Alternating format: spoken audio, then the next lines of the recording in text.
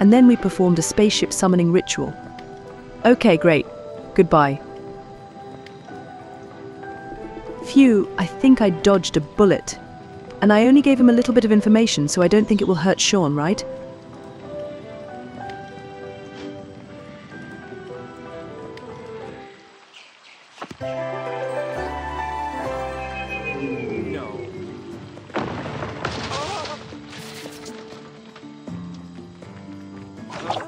What was that?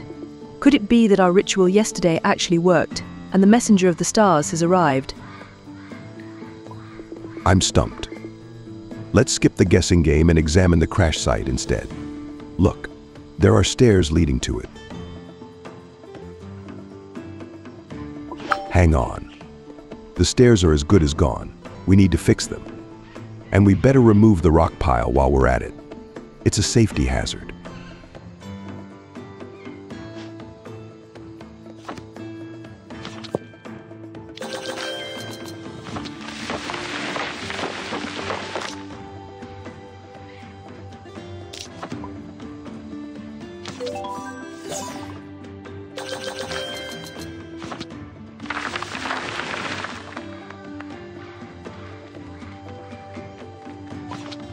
I don't see any aliens here.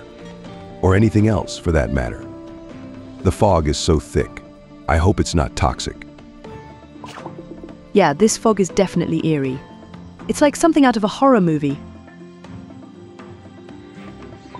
Don't worry, it's just steam from the geyser. It's safe. We can take care of it later. Right now, let's clear the area and try to reassemble whatever landed here.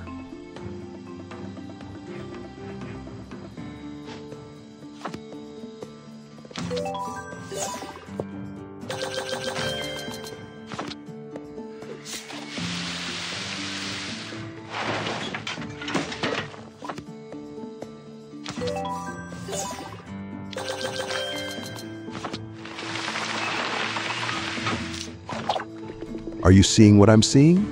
Is it really a spaceship? But that's impossible. We have to ask Jane to run some tests on it. Austin, call the lab ASAP. There's no need. There's a pretty good chance our spaceship is man made. Check out what's trending on social media.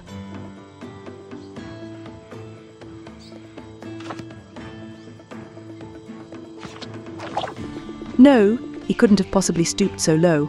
That's too much of a cheap trick, even for him. Or is it? I need to text him right now. I'll be back in a bit. Text who? We'll ask when she's back. We need to do something about the geyser. The debris has increased the pressure inside it. It's practically spewing steam. You're right.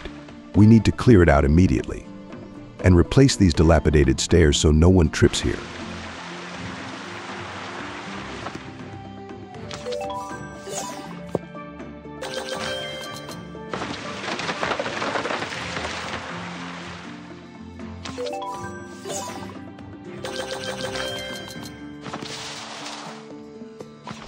Just as I thought.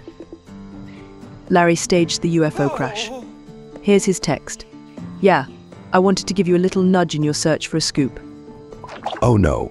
Was he also the one who made the whole thing blow up online? I can't believe he dragged us into this. What will happen when the truth gets out?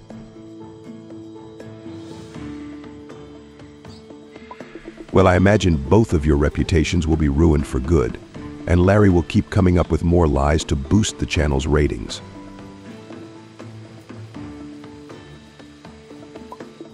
I have no words. Larry has really outdone himself this time. The whole world is waiting to hear my hot take on lies. I have no idea what to do.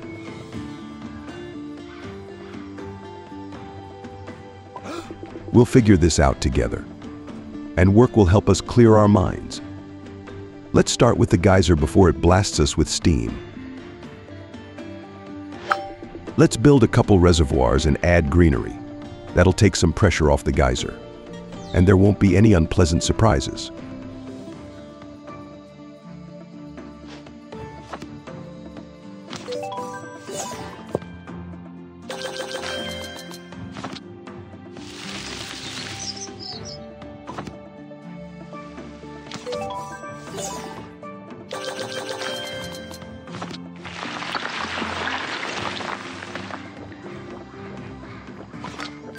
Austin, working really did clear my mind. I figured out a way to put Larry in his place and calm down any viewers who are freaking out about the UFO crash. We can say we were filming a video debunking the UFO landing, but we'd have to commit to it by actually making the video and posting it on my blog. You're suggesting replacing Larry's fake story with our own fake story about fakes? My head is spinning. But I love the idea. And I bet your viewers will too. It will also explain where the spaceship came from and reassure everyone that we're still all about science here. So let's get started. Before we do, let's set up some alien decor and make our UFO look picture perfect, like something straight out of a sci-fi movie.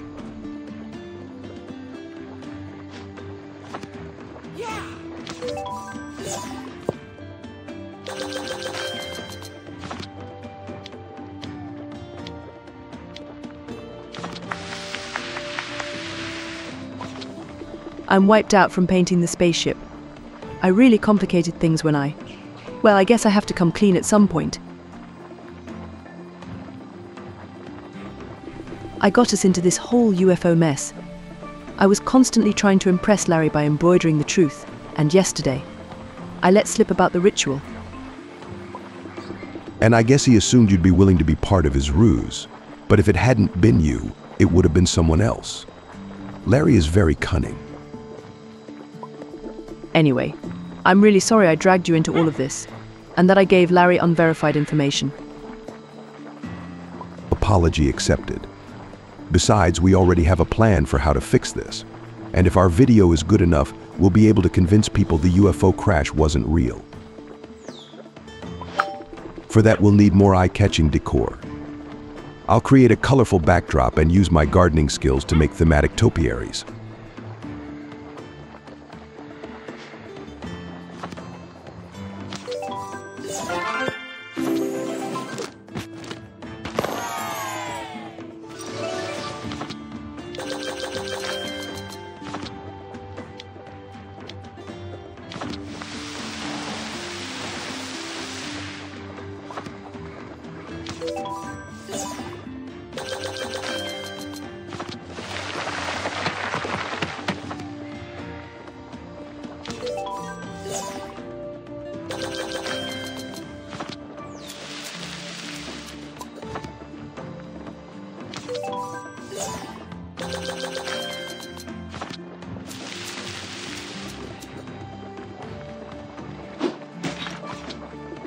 Hey guys, check out this crashed UFO beside me. But what if I tell you it could never actually fly? Let's get to the bottom of this together.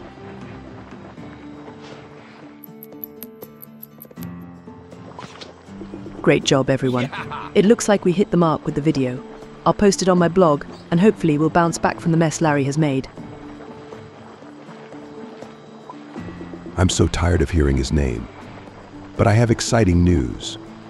Remember the sorcerer from the Boiling Cliff? He was mentioned in the statue inscriptions.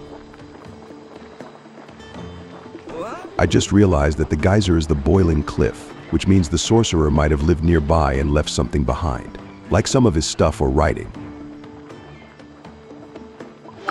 Great work, Sean. We need to clear the area ASAP. It looks like we've gotten another clue in the spaceship case.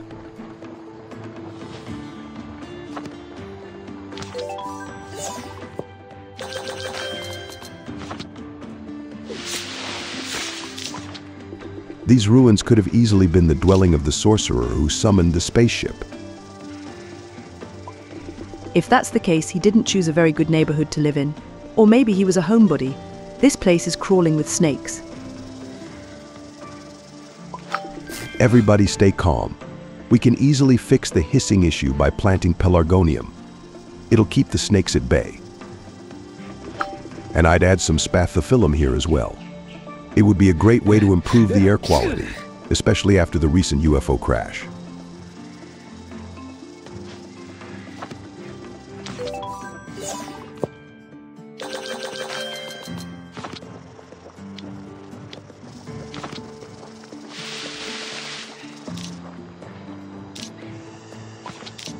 Ellen, what are we going to do about the show? I honestly don't feel like working with wonders of the world anymore after the stunts Larry pulled. I get it. He's leading the show in the wrong direction. But maybe there's a way we could turn things around and restore the channel's good name.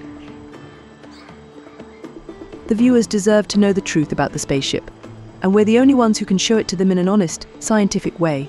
I say we keep filming. You're right. We'll use science to debunk Larry's lies. But first, let's restore this ancient structure. We need to find out who it belonged to. That's the spirit. I'm happy to see you this inspired. But don't forget to watch your step. At least until I make a path here.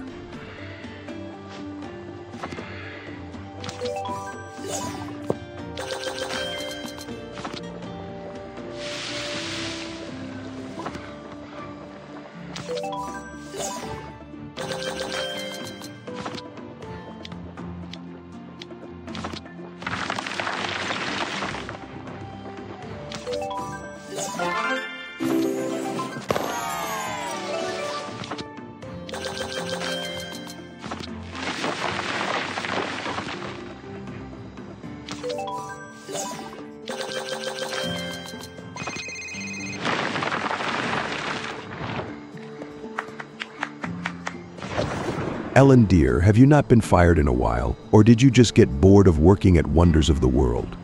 I spent loads on that UFO, and you just ignored it. I'm not going to lie to our viewers. We're going to use science to explain all of our discoveries. Accept it, or there won't be a third episode. Well, Ellen, fair enough. The show is now your responsibility, so do as you see fit. But please keep Matilda and me in the loop. Toodles. Wow.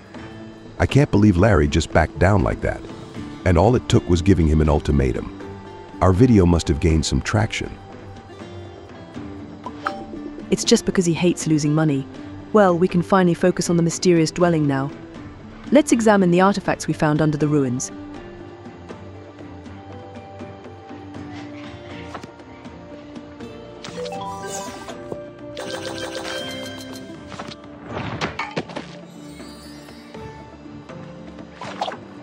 Well, Sean, did you find out who used to live here? Did it belong to the sorcerer from the Boiling Cliff who summoned the spaceship? A closer look at our finds has revealed this was his house. He kept his ritual tools here. I also found a mask with an inscription saying, he knows the secret. What secret? And is he talking about himself in the third person? Or is he referring to the mask? I'm confused. Beats me. All I know is that the mask was once displayed on a pedestal in the yard. Maybe putting it back where it belongs will help us solve the riddle.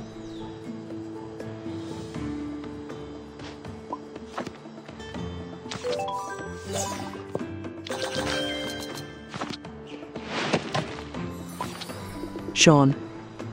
I feel like the mask is watching me. It's giving me the creeps. Don't worry, Ellen.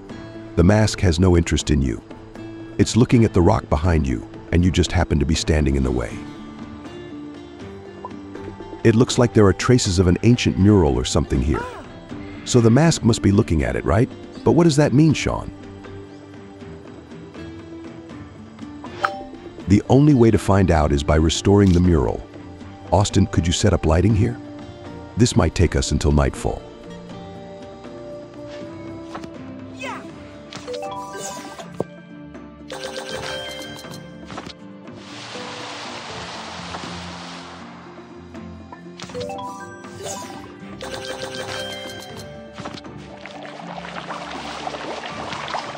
Unbelievable.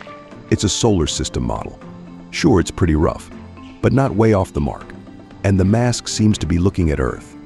Maybe we need to press it?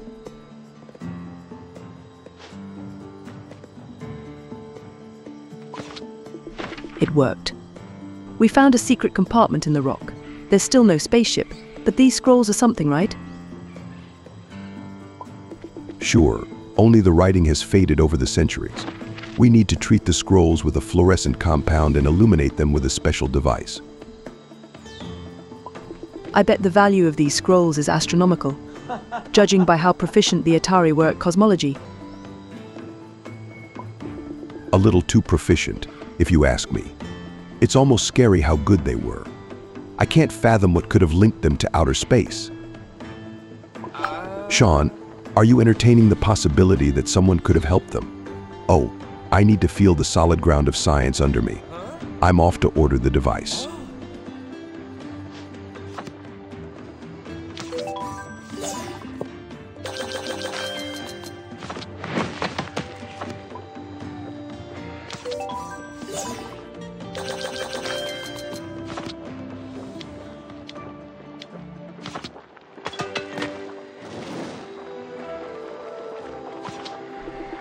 Set to illuminate the scrolls.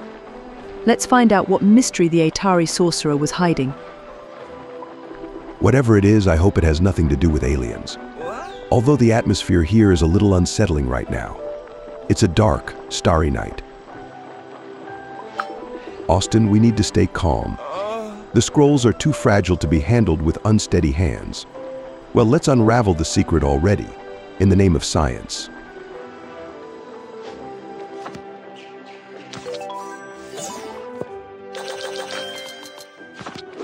So, the sorcerer wrote that the people are constantly calling to the stars, but the messengers no longer come. The spaceship visited them only once. So the ship really existed. And the aliens weren't just a metaphor? They actually visited this island? Sean, is this for real? I don't know about the aliens. Some of the grammatical structures are ambiguous, but the spaceship definitely existed, and it still does. It's in the pyramid. How is that possible? We looked inside the pyramid. There was only treasure in there. Maybe the sorcerer just didn't notice that the UFO flew off. The ship is in a secret chamber. You can only see it from the third place of power, which is on the beach to the east of the pyramid. It's too dark to go now. But we can head there first thing in the morning. Oh, it's going to be a historic day. But now, if you'll excuse me, I need to update Larry on our progress.